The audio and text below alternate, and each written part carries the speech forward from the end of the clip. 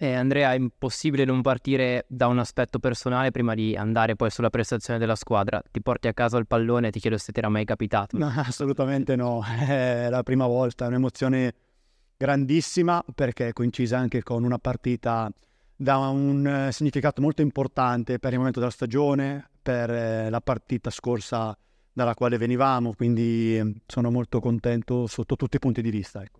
È stato possibile switchare così velocemente in pochi giorni dopo la partita di Cesena e vedere un'Entella così aggressiva, così compatta, così mentalizzata stasera? Eh, voglia di rivalsa, avevamo dentro tanta rabbia, tanta delusione e siamo stati bravi a incanalarla nel giusto, eh, nel giusto modo.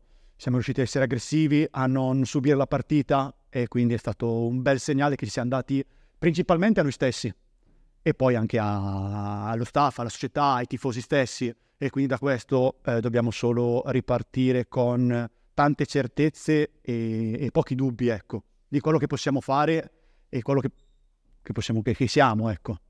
Si torna subito in campo tra pochi giorni, ma quanto vi può dare da un punto di vista morale questa vittoria e anche che consapevolezza vi può dare il fatto di aver trovato così tanti gol contro la squadra che in questo momento è quarta in classifica?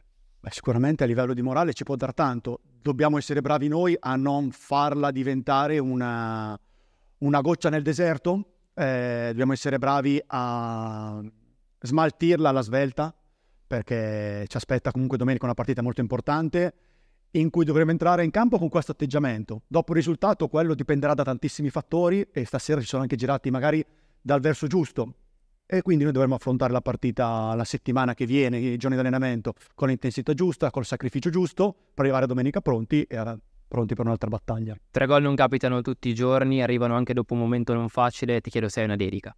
Dedica alla squadra, ai ragazzi della squadra, ai ragazzi che giocano meno, ma che in allenamento comunque vanno sempre a 3000 e ci aiutano a tutti a stare sul pezzo e poi poter andare in campo e fare partite così come quella di stasera.